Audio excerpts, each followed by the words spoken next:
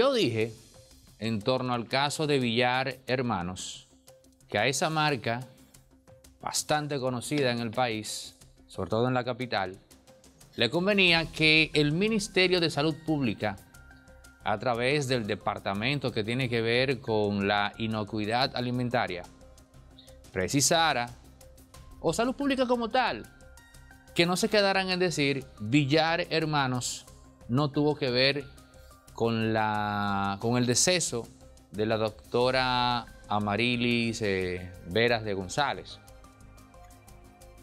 Pero o sea, no, no, no hay información científica objetiva que explique su deceso luego de pasar por Villar Hermanos e ingerir un pescado o un, un marisco.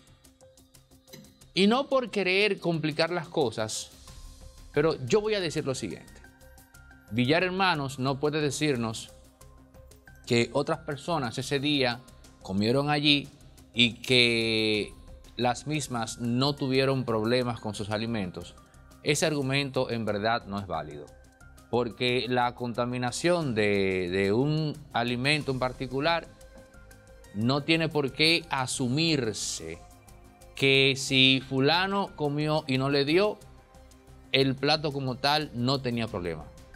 Podía tratarse perfectamente, o pudiera, no sabemos, de un mal manejo específicamente de ese plato. Pero estos son, digamos, eh, conjeturas retóricas de mi parte. Porque lo último que quiero es cargarle el dado injustamente a esa marca a la cual voy de cuando en vez y disfruto de, de su comida. Pero ese argumento como tal es muy flojo. Ahora dije, tienen que especificar de que esa señora pasó a otra vida, al otro plano. Tienen que, que decirlo. No se pueden quedar así. Bueno, no me hicieron caso, pasó lo peor. Ahora tenemos a la hija, de nombre Laura, la hija de la doctora, que también es médico y que ha salido con datos también científicos. Hace unas precisiones ahí que uno que no es médico ignora, pero, o sea, unas precisiones de por qué ella entiende que hay una responsabilidad directa pero además, ella dice algo que compromete a salud pública. Plantea que ellos fueron, o sea, las autoridades fueron a hacer la investigación días después y que los alimentos que ellos tomaron para estudiar, al ser eh, días después, pues ya de inmediato esa investigación y sus resultados no sirven para nada. Porque lo lógico es que fuesen horas después, o que analizasen los restos de los mariscos que quedaban de ese día, o incluso la zona en la cual se procesaron antes de lavarla. Y es verdad, esa doctora, de nombre Laura, tiene mucha razón. No hay que ser médico, no hay que ser eh, forense o científico para saber que lo que ella dice se corresponde más con el sentido común que con la propia verdad objetiva. Oigan lo que, acabo de decir. Claro que sí. O sea, ¿cómo yo voy a confiar en unos resultados que se dan de unos alimentos que llegaron después de los que consumió esa doctora? Eso, eh, esa muestra no me sirve a mí absolutamente para nada, señores. Y eso fue lo que examinó y estudió salud pública y en base a ese resultado ellos eh, pues determinaron que Villar Hermanos no tenía nada que ver. Yo no estoy planteando, a diferencia de la doctora Laura, hija de la señora Amarilis, que Villar Hermanos es culpable. No, estoy diciendo, miren la chapucería y miren a qué los lleva esta chapucería innecesaria. Se les está viendo el refajo.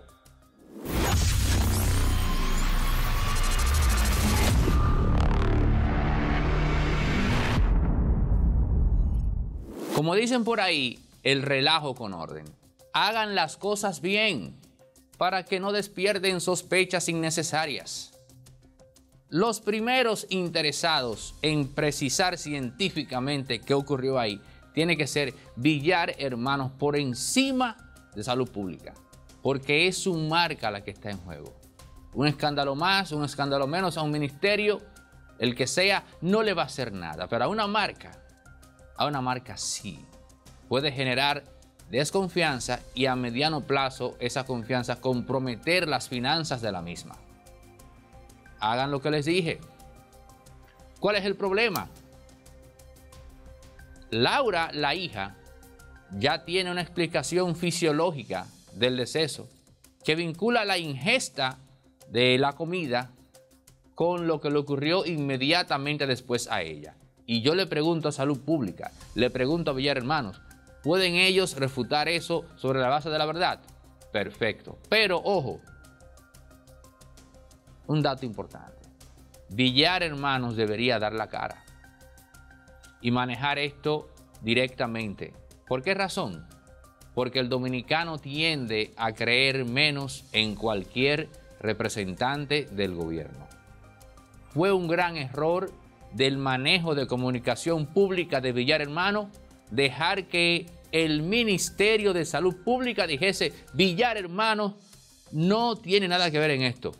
Con toda seguridad, la marca Villar Hermano tiene más credibilidad que cualquier institución del Estado. Pero se le fue esa. Ellos pensaron que con que salud pública, al contrario. Yo mismo, yo, cuando vi eso, dudé. Salud pública.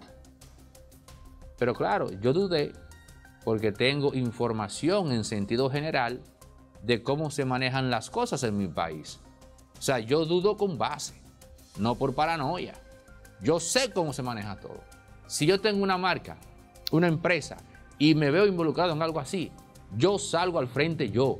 Yo no mando o yo no espero a que un ministerio salga a decir que yo soy inocente, porque yo sé que en mi país nadie cree en lo público. Y hacemos bien en no creer en lo público. Y por poco se me zafa una bendita mala palabra. Esa desconfianza que tiene la ciudadanía en lo público en este país se la han ganado muy mal manejo de Villar Hermanos en este caso. Creían que con que salud pública saliera, además, pero qué estúpido, o sea, tan explícito, fulano de tal no tiene que ver con esto. Óigame, pero tengan un poco más de respeto por el muerto, por lo menos. Un poco más de respeto.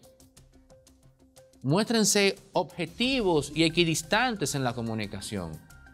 Villar Hermano tuvo que pam, pam, pam, como una película norteamericana, no, hollywoodense. De estas en las que tienen que explicarte la trama tan burda y explícitamente como que tú eres un estúpido.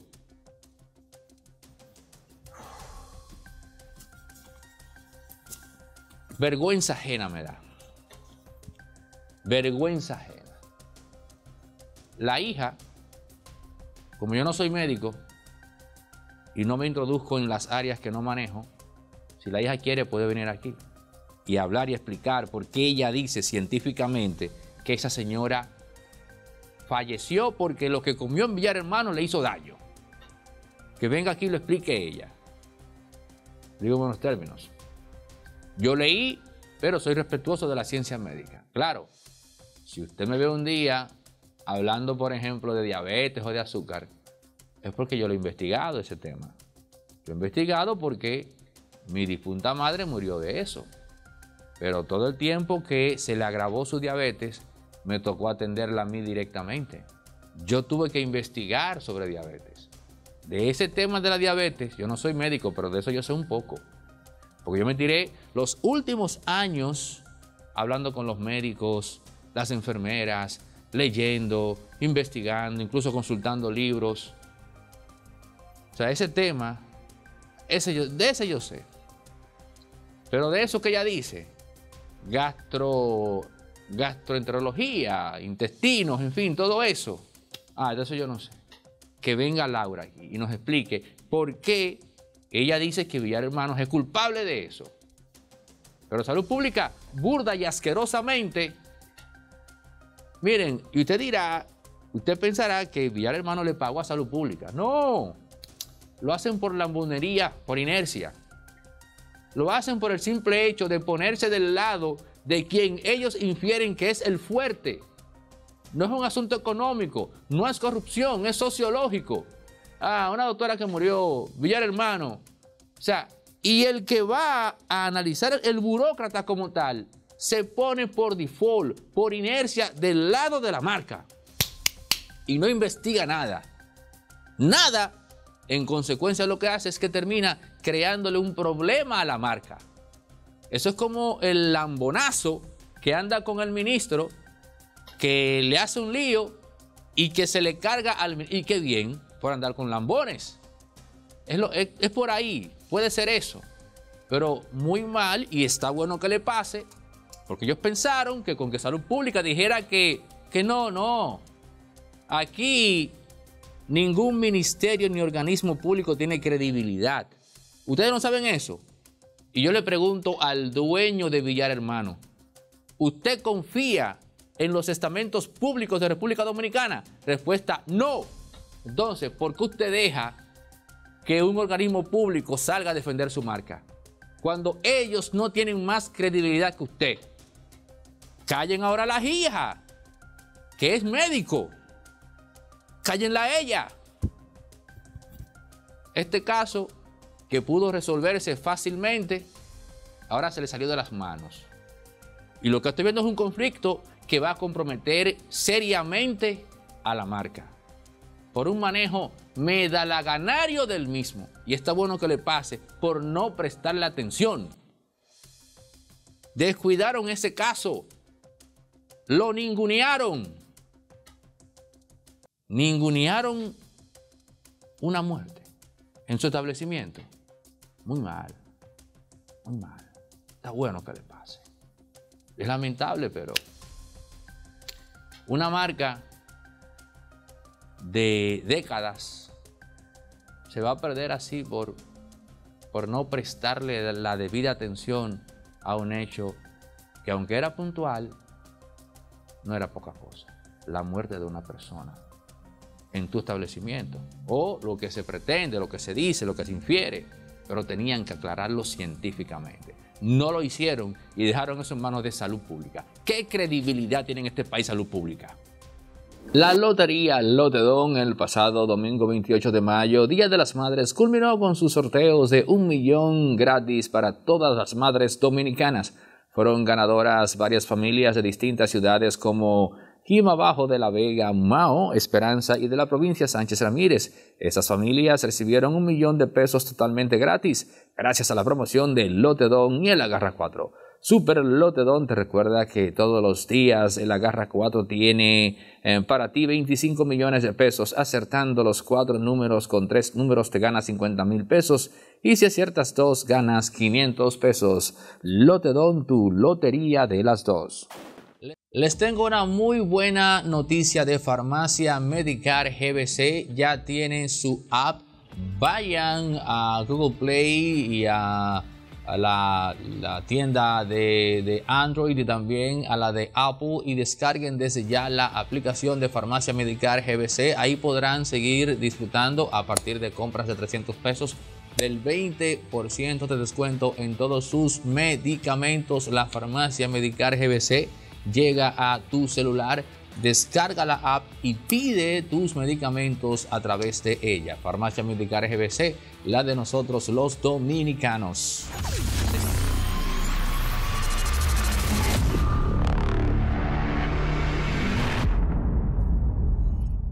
Señores, eh, hay unos cuantos casos a nivel social que honestamente nos han tocado en términos humanos. Me toqué, por ejemplo, con un, me topé con un caso que colgó la colega Diurka Pérez en sus redes sociales de una señora que estaba abandonada y tenía un asunto ahí, estaba comiendo o se mantenía solamente de comer mangos. Al momento que se hizo la filmación, la señora estaba, estaba eh, totalmente expuesta, estaba lloviendo, estaba llorando, un caso humanamente desolador. Entonces se me ocurrió que ya que nosotros, gracias a Dios hemos y al apoyo de ustedes, hemos tenido, eh, hemos podido seguir este proyecto adelante, vamos a usar los fondos que nos lleguen de Patreon para ese tipo de asistencia social. De repente no es tan indispensable que para, el eh, sostener impolíticamente correcto el otro canal, la quinta pata, donde se cae el show, de la mente a la lengua, eh, que Noto y RD, que adquirimos ese proyecto recientemente. Eh, ya, gracias a Dios, Patreon no es indispensable. Pero esos recursos los podemos usar en lo adelante para hacer ese tipo de asistencia. Hicimos la indagatoria del lugar en torno al caso de la señora y nos informaron que el Consejo Nacional de Envejecientes ya la había asistido a raíz de la denuncia que hizo Diurka Pérez. Esperamos que así sea. De todas formas, si ustedes tienen información puntual de ese caso, pues nos la hacen llegar. Ahora bien, lo que se me está ocurriendo a mí es eso. Los fondos que nosotros recibimos de Patreon vamos a usarlo específicamente para eso.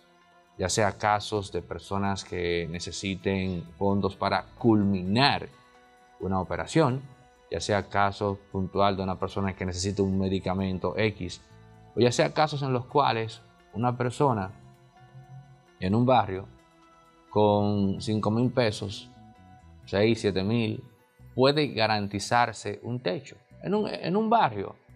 Porque de repente nosotros, eh, caramba, que estamos habituados a eh, pero la verdad es que en un barrio, una persona que se siente bien en ese entorno, aunque usted no lo crea, con, con, con 3, con 4, con 5, con 6, con 7, con 8 mil pesos, se garantiza su vivienda. Entonces, vamos a canalizar esos fondos y en lo adelante, todo lo que se reciba, porque hay gente que constantemente hace donaciones, vamos a usarlo específicamente para eso.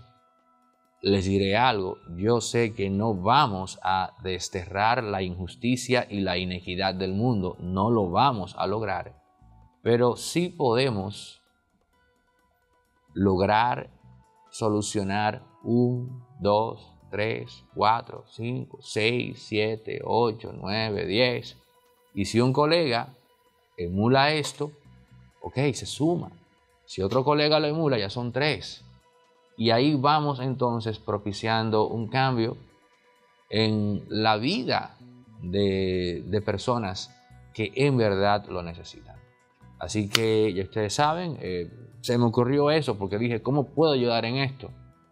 ¿Cómo, ¿O cómo puedo, digamos, eh, ser parte de una solución? Ese es el giro que le hemos dado a nuestro Patreon, así que ya usted sabe, eh, puede hacer sus aportes desde un dólar y vamos a comenzar a tratar de resolver situaciones para personas que en verdad lo necesitan.